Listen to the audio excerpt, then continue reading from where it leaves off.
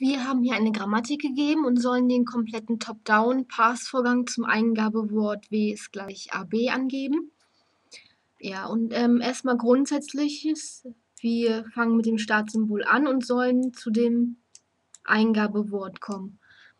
Das ist der Top-Down-Pass-Vorgang. Also wie würde man das grundsätzlich machen? Also einmal ganz logisch, man würde sich angucken, welche Regeln es gibt und würde dann versuchen, irgendwie durch Anwendung dieser Regeln von dem Startsymbol zu dem Eingabewort zu kommen.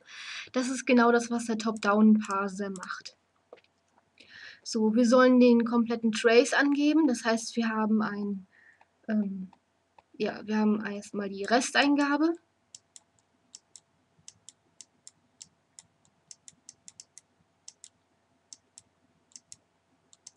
So. In, ähm, ja, am Anfang fangen wir mit Zeile 1 an. Die Resteingabe ist hier auch das Wort AB. Dann haben wir einen Stack, mit dem wir arbeiten. Und am Anfang befindet sich darauf das Startsymbol aus der Grammatik, also in diesem Fall S. Und wir wenden auf jede Zeile, wir haben jede Zeile durch eine Regel gewonnen und für die erste Zeile ist es die Regel Initialisierung.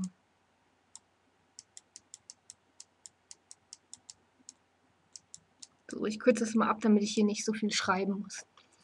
So, wir haben dann zwei mögliche Regeln, die wir anwenden können. Die eine Regel ist, wenden wir an, wenn wir hier an erster Stelle ein Nicht-Terminales haben, in diesem Fall S. Und die Regel, die heißt Predict. Also wir würden jetzt Predict, also wir würden Zeile 2 gewinnen, indem wir Predict auf Zeile 1 anwenden. Wenn wir die Predict-Regel anwenden, dann bleibt die Resteingabe gleich. Und Predict heißt, dass wir raten, was aus diesem S entsteht. Also wir sollen hier ja sowieso alle Operationen angeben, egal ob sie erfolgreich sind oder nicht. Wir haben hier jetzt auf der linken Regelseite zum Beispiel AB. Also rate ich jetzt, dass aus diesem S ein AB entstehen könnte. So, und da wir in diesem Fall ähm, alle möglichen Operationen angeben sollen, also auch die falschen, muss ich auch ähm, raten, dass das andere rauskommen könnte. Das wäre wieder ein, ein Predict auf Zeile 1. Und hier würde ich jetzt auf die zweite Regelseite raten, also dass S zu diesem BA expandiert ist, um das Eingabewort zu erhalten. So, und ein kleiner Hinweis, also ein kleiner Tipp. Ähm, es ist eigentlich egal, in welcher Reihenfolge man diese Zeilen alle abarbeitet, aber ich würde dann einfach irgendwie hinter einer Regel, die ich jetzt bearbeitet habe, also hinter der Zeile einen Haken machen. Also ich habe jetzt nur zwei Möglichkeiten gehabt, ein Predict hier auf Zeile 1 anzuwenden. Ein Scan kann ich nicht machen, also sind hier ein Haken hinter und weiß, dass ich mir die Zeile 1 nicht mehr angucken brauche. So, jetzt mache ich mit Zeile 2 weiter. Wir haben hier wieder ein Nicht-Terminales am Anfang. Das heißt, ich muss wieder eine Predict-Regel anwenden. Und wir haben hier wieder zwei Möglichkeiten ähm, zu raten, was aus dem großen A werden könnte. Das heißt, ich brauche hier für Zeile 2 zwei neue Predict-Zeilen oder zwei Zeilen, die aus dem Predict entstehen. So, ich schreibe das schon mal hin. Hier mal ein bisschen kürzer, damit ich nicht stundenlang schreibe. So, Predict aus Zeile 2. Hier der, als erstes würde ich raten, dass aus diesem S, äh, dass aus diesem A ein AS wurde. Das heißt, ich schreibe das jetzt so hin und das, was dahinter ist, das bleibt dann einfach. In diesem Fall das B. So. Oder ich kann raten, dass aus dem A einfach hier ein, ein kleines a wird. Und das B wird dann auch so bleiben.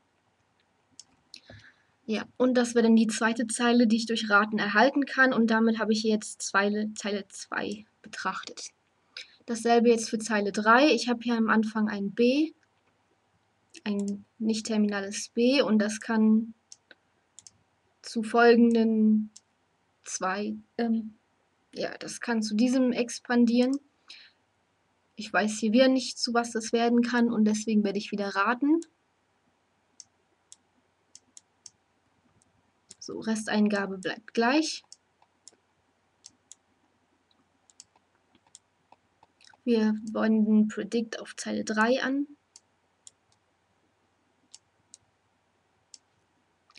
So, und das B hier, das kann entweder zu einem BS werden.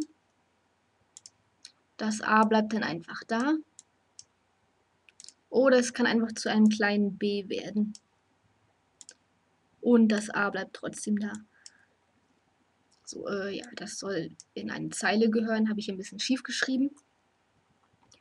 So, jetzt haben wir diese Zeile betrachtet. Jetzt zu Zeile 4.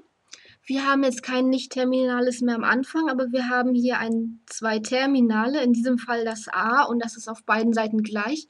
Das heißt, wir können auf Zeile 4 jetzt einen Scan anwenden. Das heißt also, wir löschen jetzt dieses A raus. Das ist ja jetzt durch den Pass-Vorgang erfolgreich generiert worden. Also das wollten wir ja auch haben, also es ist erfolgreich generiert worden. Und wir müssen dann nur noch den Rest betrachten vom Stack und davon versuchen dann die Resteingabe zu generieren. Das heißt so, also ich habe jetzt eine neue Zeile 8. Dann ähm, fällt das A weg, da bleibt das B übrig. Hier bleiben S und B übrig, das A wird weggelöscht und die Zeile ist jetzt durch einen, durch einen Scan auf Zeile 4 entstanden. So, damit ist Zeile 4 fertig. Jetzt in Zeile 5 haben wir das gleiche. Wir haben hier wieder zwei terminale A's. Das heißt, wir wenden jetzt auf Zeile 5 auch wieder einen Scan an. So, hier bleibt dann wieder das B übrig. Hier bleibt das große B übrig. Und ich kürze es mal wieder ab. Wir haben die Zeile durch einen Scan auf Zeile 5 erhalten. So, abgehakt. Jetzt in Zeile 6. Wir haben hier ein terminales A und wir haben hier ein terminales B. Das heißt also, in diesem Pass-Vorgang haben wir etwas generiert, was auf keinen Fall zum Eingabewort gehören kann. Und damit ist das hier ein, ähm, ein nicht erfolgreicher Schritt gewesen und wir können mit der Zeile gar nichts weiter machen, weil wir können das hier nicht zusammen weglöschen mit der Scan-Regel. Wir können hier nichts weiter mitmachen. So, hier war dann der Passvorgang nicht erfolgreich. Dasselbe dann in Zeile 7. Wir haben hier wieder auch ein A und ein B. Wir können damit nichts weiter anfangen, außer halt ähm, erkennen, dass der Passvorgang an dieser Stelle oder dieser Schritt hier nicht erfolgreich verlaufen ist. So, jetzt wieder Zeile 8. Wir haben hier ein nicht terminales S am Anfang, das heißt, wir müssen hier wieder diese zwei, ähm, zwei Predicts anwenden. So, ich schreibe die mal wieder zusammen hin. Wir bekommen ein neue, neue Zeilen 10 und 11. Die Resteingabe aus Zeile 8, die bleibt erhalten. Wir machen einen Predict beziehungsweise zwei Predicts auf Zeile 8. So, und hier kann das S ja wieder zu einem A, B werden oder zu einem BA. Und der Rest, der hier in, 8, in Zeile 8 hinter dem S steht, der bleibt dann einfach dort. So, damit haben wir Zeile 8 erledigt. Jetzt zu Zeile 9. Wir haben hier wieder ein nicht terminales B. Das heißt, wir brauchen wieder zwei neue Predict-Zeilen, die da aus dem B entstehen. So, die Resteingabe bleibt dort. Wir machen einen, Moment, das sollte ich mal ein bisschen mehr in die Zeilen schreiben. Wir machen zwei Predicts, einmal auf Zeile 9.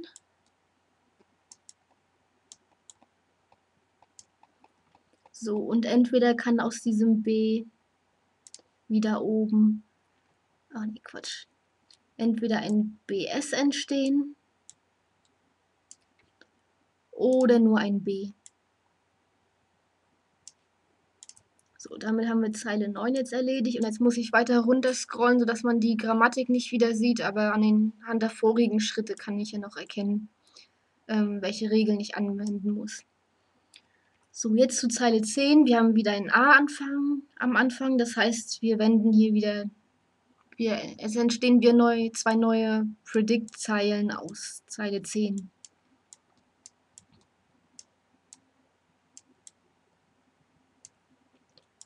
So, Predict aus Zeile 10.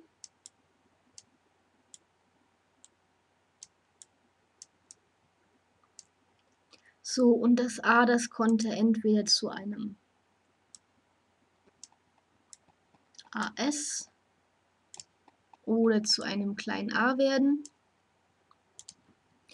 Und der Rest, der hinter dem a steht, der bleibt dann einfach wie er ist. Also in diesem Fall die beiden b's.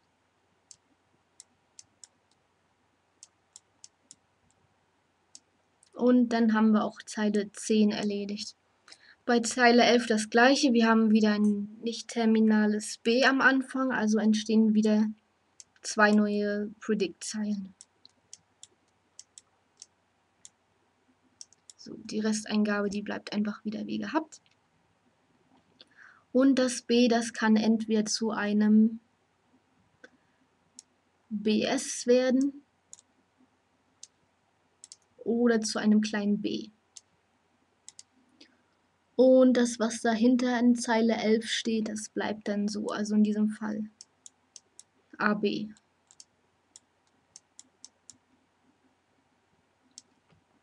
So, und wir haben sie aus einem Predict auf Zeile 11 erhalten. So, damit haben wir auch Zeile 11 bearbeitet. So, jetzt ist Zeile 12 dran. Wir haben hier wieder zwei Terminale am Anfang, die gleich sind. Das heißt, wir können einen weiteren Scan-Schritt ausführen. So, wenn wir das B scannen, dann bleibt nichts übrig. Das symbolisieren wir durch Epsilon. Und hier bleibt das S übrig. Und wir haben einen Scan auf Zeile 12 durchgeführt. So, ich habe jetzt die ganze Resteingabe hier verarbeitet, aber ich habe noch Nicht-Terminale übrig. Ich muss die weiter prüfen, weil es ja sein kann, dass ich aus einem Nicht-Terminalen auch wieder ein Epsilon generiere. Also in, in manchen Grammatiken gibt es ja diese Regeln. So, und da ich ja alle, ähm, alle Pass-Schritte angeben muss, gebe ich auch die nicht erfolgreichen an und muss das hier auch weiter verfolgen. So, in Zeile 13, wir haben hier wieder zwei ähm, zwei gleiche Terminale. Das heißt also, da entsteht auf beiden Seiten Epsilon. Und das ist aus einem Scan auf Zeile 13 entstanden. Ja, und dies ist jetzt ein erfolgreicher Pass-Vorgang, weil wir hier die komplette Resteingabe abgearbeitet haben und wir haben auch keine Nicht-Terminalen übrig, aus denen wir irgendwas generieren müssen. Dies ist dann ein erfolgreicher Parsing-Schritt. Und ja, ich mache eigentlich trotzdem weiter oder der Parser, der macht dann auch trotzdem weiter, weil es auch sein kann, dass es noch einen zweiten erfolgreichen Pass-Vorgang gibt. Das ist jetzt auf jeden Fall ein erfolgreicher Pass-Vorgang und der sagt dann auch, dass das Wort, das Eingabewort aus dieser Grammatik generiert werden kann. So, als nächstes Zeile 14. Wir haben hier ein, ein nicht terminales B und wir haben hier ein A. Das heißt, wir können nichts machen und dies ist ein nicht erfolgreicher Schritt, eine nicht erfolgreiche Ableitung gewesen. Hier wieder das gleiche. Wir haben ein B und ein A. Auch nicht erfolgreich. Hier in Zeile 16 haben wir wieder das gleiche Terminal. Das heißt, daraus bilden wir eine neue Scan-Zeile. Da bleibt dann das auf der rechten Seite übrig. Und wir haben es aus einem Scan auf Zeile 16 erhalten. So, haben wir die erledigt. In Zeile 17 genauso. Wir haben hier zwei gleiche Terminale.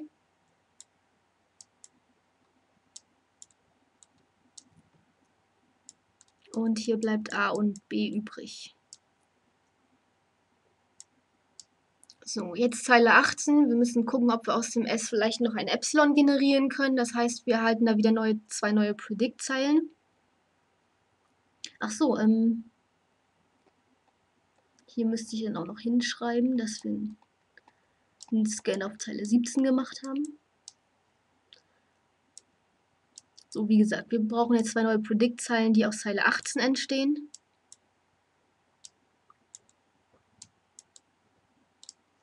Wir haben ein S, das kann entweder zu AB oder zu BA werden.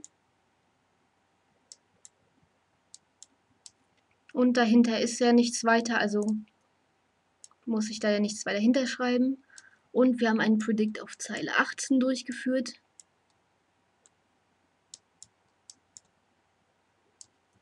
So, haben wir Zeile 18 erledigt. Zeile 20 ist als nächstes dran. Wir haben hier wieder zwei, ähm, nee, ein nicht-terminales auf dem Stack ganz vorne. Das heißt, wir erhalten hier zwei neue Predict-Zeilen. Und hier auch wieder aus dem S kann entweder AB oder BA entstehen.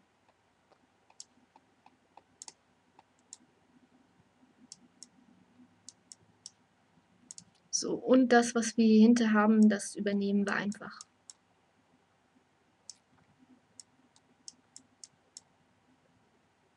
Und die Zeilen sind aus einem Predict auf Zeile 20 entstanden.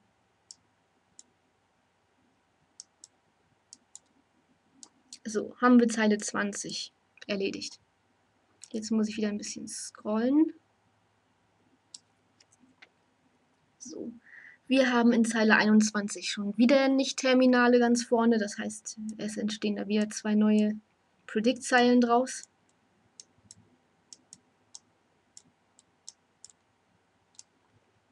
So, und aus dem A konnte entweder ein AS entstehen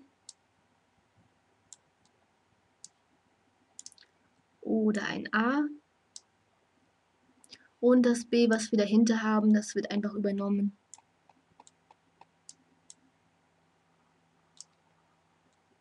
So, und wir haben einen Predict auf Zeile 21 durchgeführt. So, haben wir Zeile 21 erledigt. Zeile 22, da haben wir nochmal das gleiche. Ich muss es der Vollständigkeit halber hinschreiben. Also wir erhalten Zeile 28 und 29.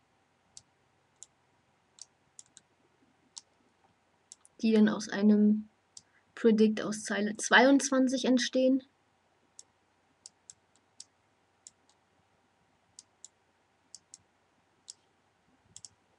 So, und die sehen dann genauso aus wie die Zeilen davor.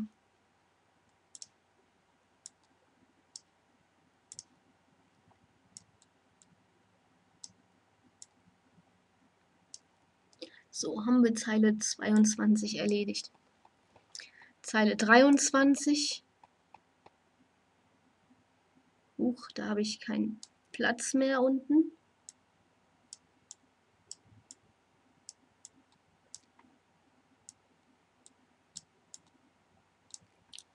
So, auf jeden Fall Zeile 23.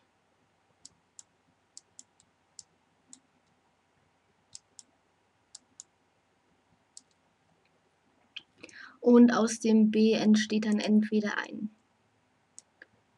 was hatten wir gesagt, ein BS oder ein kleines B. Und das A dort bleibt einfach erhalten. So, haben wir die Zeile erledigt. Jetzt brauche ich irgendwie noch ein bisschen Platz nach unten. Einen Moment.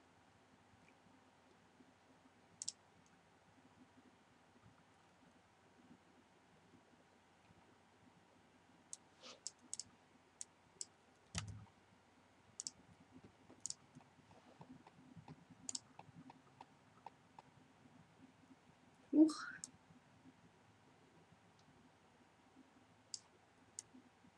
Ach so, hier bin ich. Okay, alles gut. So, Zeile 23 haben wir erledigt. Jetzt Schauen wir uns Zeile 24 an. Da habe ich, muss ich wieder zwei Predicts durchführen und dann hier auf Zeile 25 auch. Also schreibe ich gleich mal vier neue Zeilen hinzu.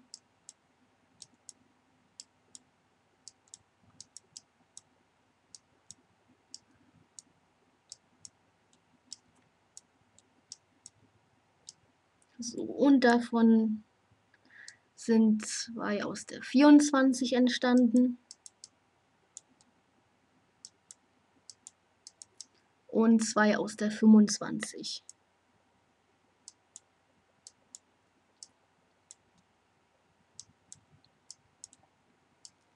So, in der 24 haben wir ein A am, am Anfang. Das wird entweder zu einem AS oder zu einem kleinen a. Der Teil dahinter bleibt, bleibt erhalten, BAB. Oder ja, genau das gleiche. Damit haben wir Zeile 24 betrachtet. Dann Zeile 25, das B, das kann entweder zu BS expandieren oder es kann zu einem terminalen B expandieren. Und der Rest dahinter bleibt erhalten.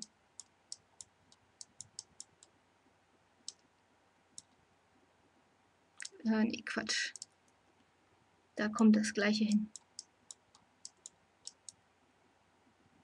So, damit haben wir Zeile 25 auch abgehakt.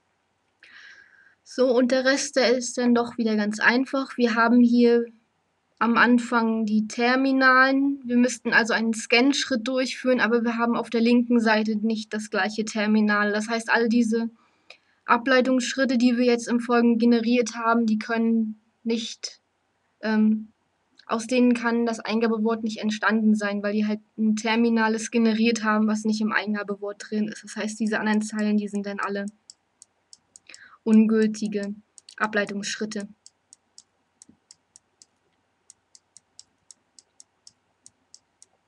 So, ich könnte mir jetzt äh, die richtigen Schritte raussuchen und einen Baum dazu zeichnen.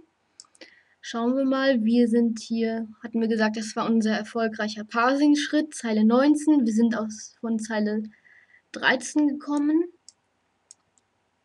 Zeile 13 ist aus Zeile 9 entstanden. Das müsste diese hier sein. Zeile 9 ist aus Zeile 5 entstanden. Das ist dann diese hier, Zeile 5 ist aus Zeile 2 entstanden und Zeile 2 natürlich aus Zeile 1. So, ich kann hier jetzt also den Baum zumalen. Ich habe hier ähm, das Startsymbol. Aus dem Startsymbol habe ich hier in dem erfolgreichen Ableitungsschritt A und B generiert. Dann habe ich hier aus dem A ein terminales A generiert.